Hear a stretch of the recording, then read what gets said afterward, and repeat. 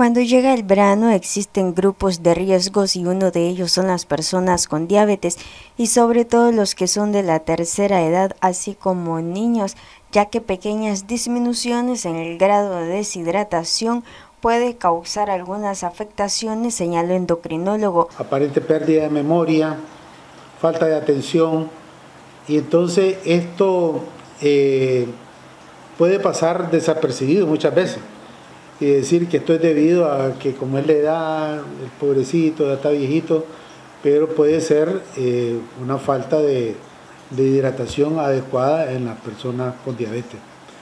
Y esto puede ser la puerta de entrada para otras complicaciones mayores, pérdida de conocimiento, olvido del tratamiento o agravación del estado de deshidratación.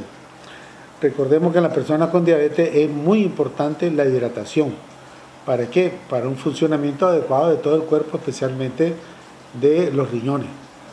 La persona con diabetes, una persona adulta, debe por lo menos en este país, por arriba de 3 litros de agua al día es lo recomendado. Decimos nosotros a voluntad, pero en realidad de 8 a 12 vasos, vasos de agua al día serían lo necesario para eh, garantizar un buen estado de hidratación. Medina brindó algunos consejos para no sufrir ningún percance provocado por el calor. Estas personas que lo cuidan son las que deben de estar constantemente ofreciéndole agua. No ofrecer eh, suero, como dicen. No es necesario. Es agua lo que necesitamos. Tampoco estar ofreciéndole bebida, eh, bebida industrializada de cualquier índole o jugo industrializado. No estos son jugos con alto contenido en azúcar, que lo que van a hacer es agravar la, sed, eh, la necesidad de agua en la persona y aumentar los niveles de glucosa de manera considerable. Entonces, no, lo que necesitamos es agua. Agua en cantidades suficientes a lo largo de todo el día y de toda la noche. Si yo digo, porque muchos se quejan de que eh, en la noche no les gusta tomar agua porque se levantan al baño a orinar.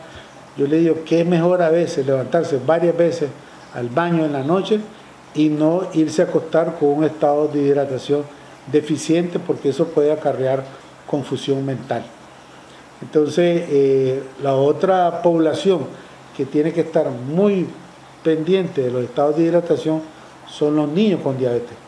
Recordemos que una diabetes mal controlada produce pérdida importante de agua que deben de ser repuestas. Noticias 12, Darlene Telles.